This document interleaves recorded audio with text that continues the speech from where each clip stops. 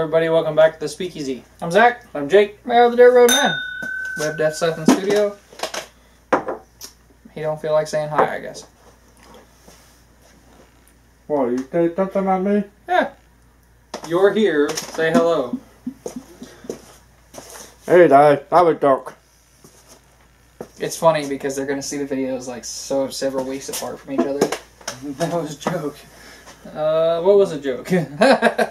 yeah, I think they'll see the joke after they see him apologizing for the joke. It's gonna be great. I hope you guys get as much of a kick out of it as we did. Anyway, we're here for a cigar review of Graycliff 30th anniversary, or no, 30 year vintage cigar. Um, we've never reviewed a Graycliff before, so uh, I'm gonna go ahead and tell you the story of it because there's a lot.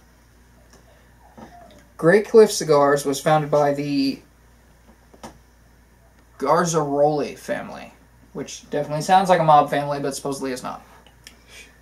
Uh, they own the Graycliff Hotel and Restaurant, which is a hotel in the Bahamas basically known for luxury in general luxury food, luxury wine, and so they started to make their own luxury cigars.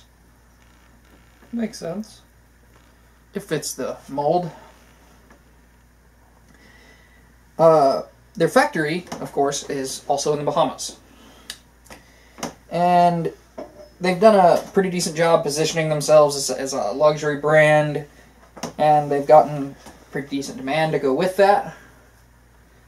This this company, if you read any of their marketing on their own websites, sounds like sounds like Trump cigars. Basically, they're they're the greatest ever. They have their own traditions that uh, their expert only elite hand rollers do in their factory with only the best and rarest of leaves. Now, I will admit, while we've had this wrapper before, which is an African Cameroon wrapper, we've never had any cigar that had any part of itself aged for 30 years. So, That's, that's older than we are. yeah. um, it's been a lot of time aging this. Now,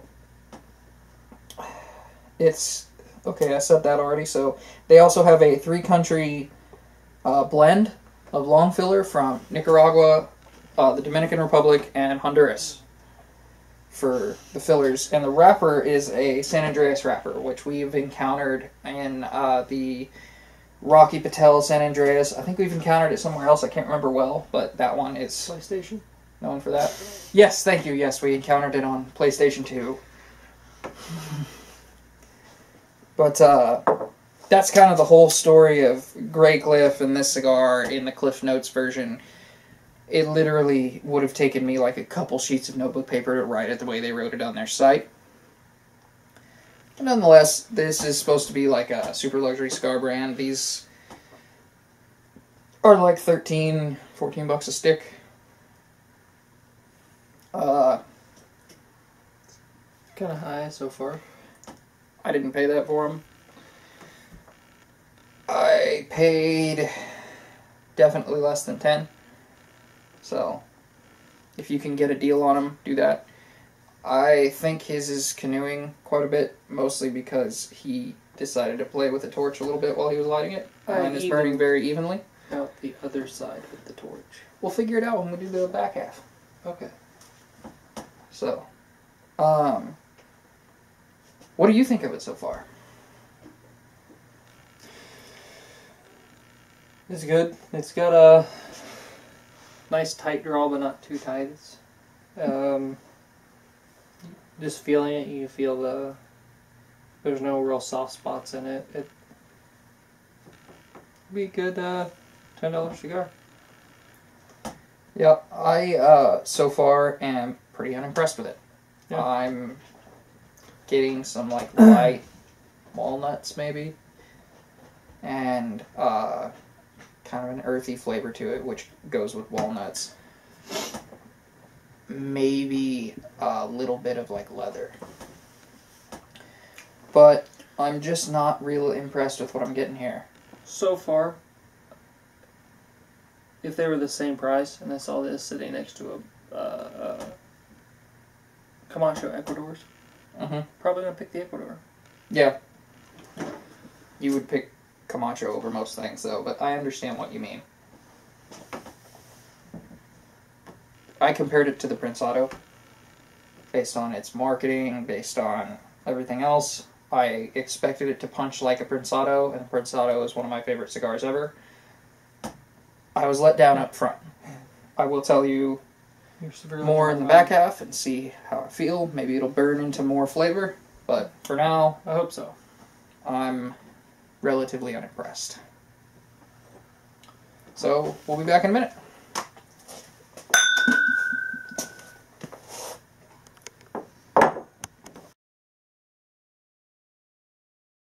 And we're back for the back half. Or the back half. Should put a little thing up like when it cuts away. Mm-hmm. Like actually stop it. But now for the back half.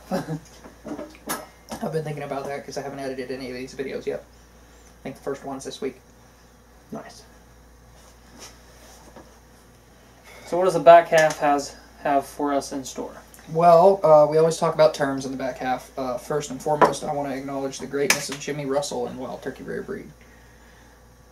I know Thank that you, has sir. nothing to do with cigars, but you, if anyone, is a gift from God to the world, sir. If I had a hat, I'd take it off. I did take my hat off. Hats off to you. I'm not drunk, I swear to God. I'm not God, I swear to drunk. So, um, let's talk first about this cigar wrapper. It's an African Cameroon wrapper. Some of you may What wonder that what that means. I don't. You don't wonder what that means? Oh, I thought you said some of you remember. No, we've never said what it was before. But please continue. I have no idea what hell that means. Tell me. Sorry, I got a ball busting a little bit. Emphasis on the singular ball. Um.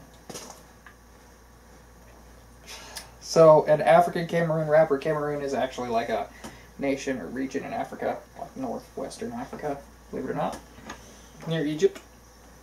That's northeastern. Never mind. Good job.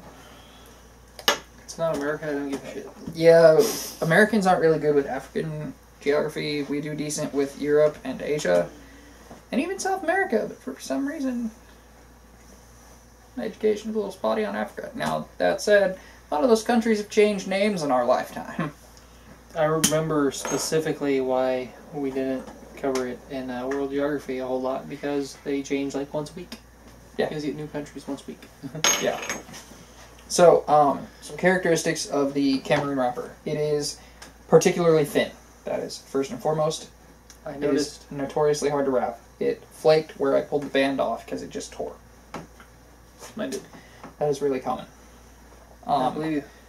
You will almost never see these in a Maduro because it is difficult for them to just kind of be put into that configuration, I guess. Uh, because they're kind of weak. Most cheaper machine rolled cigars use a Cameroon wrapper. Really? Yes. Huh. Think Grenadier. Um, I don't know if Grenadier does specifically. Don't quote me on that. But that, like Dutch Masters and Grenadiers. Mhm. Yeah. Okay. So, uh, that's that's really what African Cameroon wrapper means. So, since that's not super interesting, I want to step further. It's aged for 30 years, so let's talk about how they age cigars. This is mind mind blowing. Hmm? It's mind blowing. They age a cigar for thirty years. It is age anything for 30, even whiskey. 30 year old whiskey. Some is- people don't make it that long. yeah. I can think of at least one person we went to high school with that uh, didn't live to be 30. Hmm. Well, anybody we went to high school with pretty much means that the oldest they're 30, so. Yeah. And if I had a hat, um, so most cigar fillers and wrappers are aged at least two to five years. Uh, some manufacturers go a little further and they'll age their wrappers like 10 years. Just standard. Most of the time, if you're getting into a 10 year area, they're usually going to let you know. Um, Like with bourbon. Yeah. They they will do sorry excuse me they will do a couple of things they will sometimes put them in like big bales if it's cheaper tobacco and it's going to be filler uh, and just like set that on a pallet leave it in a warehouse somewhere to age sometimes they will put them in barrels it's not particularly uncommon to have used alcohol barrels which is why you get rum aged, bourbon barrel aged. I don't know if anybody's done Scotch aged, but it's still basically a bourbon barrel, probably. uh, cigars, and in fact, I would bet most of them actually have already been used for some other purpose. Hopefully, not fish. Uh, God, that would suck. Wine. Wine would be good. Yeah. Um, I'm really surprised. I haven't heard of more experimentation in that area, but there are a lot of cigar companies that do that lately. Especially as whiskeys kind of come up more in popularity in the last 10 years or so. Um, certainly has for us, but you know, 10 years ago, we definitely weren't drinking any whiskey because we weren't legally drinking age. I was.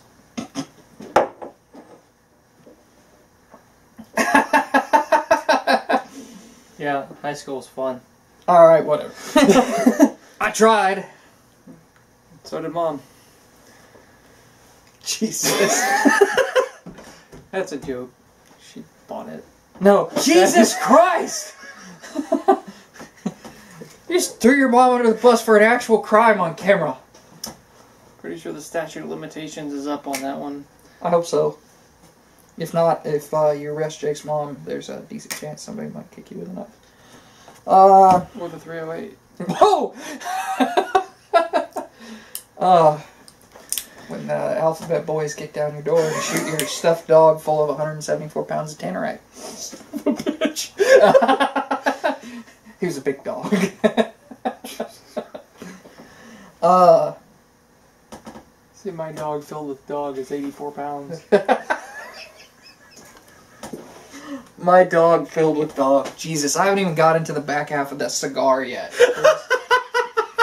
my God. Okay, go ahead. This is a cigar review video, I swear.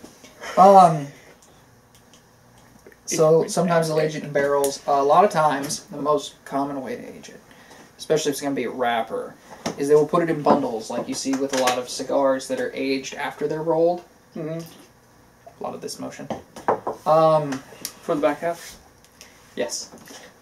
Uh, especially box press cigars are also often put like that so that they'll square out.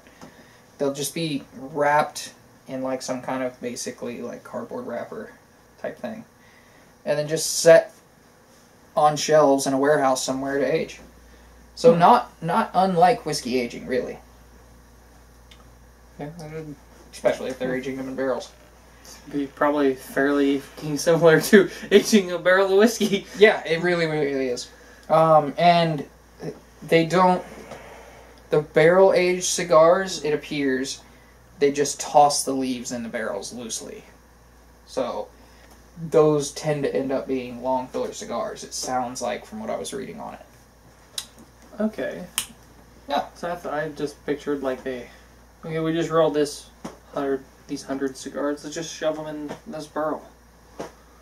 Yeah. Cigars. We'll just shake them. I, I also thought they were aged as already rolled cigars, but most of them are not. Huh. A lot of them, the tobacco is aged beforehand. I guess would make it. It's easier to age a lot more for cigars, because let's say you're only going to age your wrapper, like this one. Mm-hmm. then you just put a bunch of leaves wherever, and it's way easier to age for more cigars. And you can still put that age claim on your cigar, despite the fact that the filler and binder isn't. That shit was picked two days ago. Probably takes longer. Usually age two to five years for the other stuff. Repeat that for a minute. two to five years for the other stuff. Um.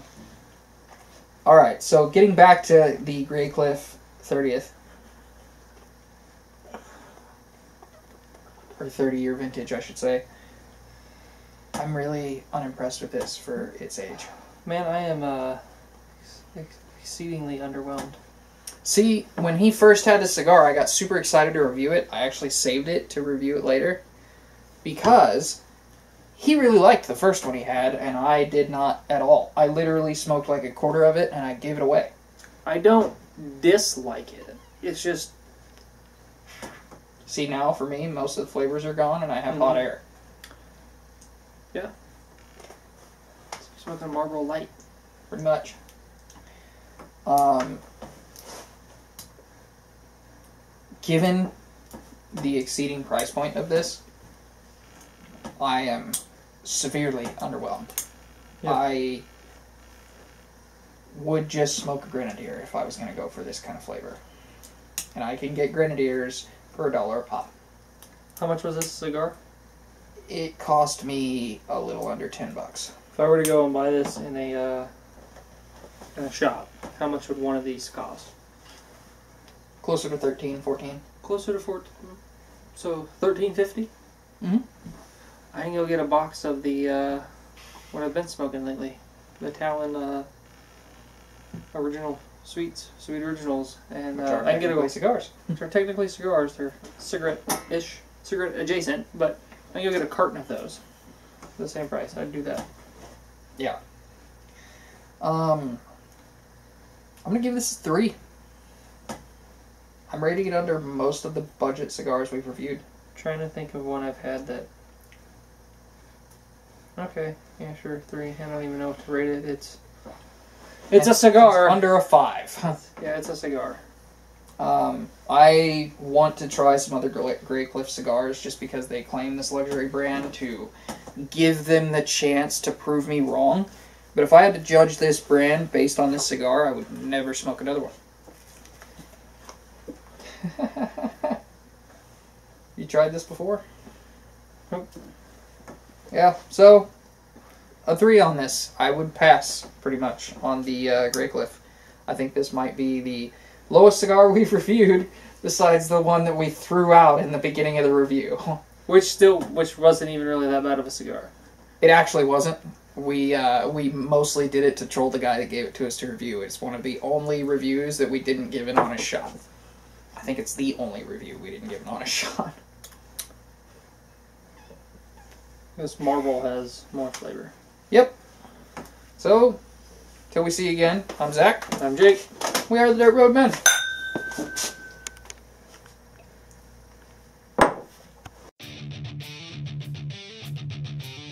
Hey everybody, if you like this video, uh, hit a like or dislike, comment, uh, subscribe, and hit the notification bell. And if you really like what we're doing, uh, check us out over on Facebook where we post every day.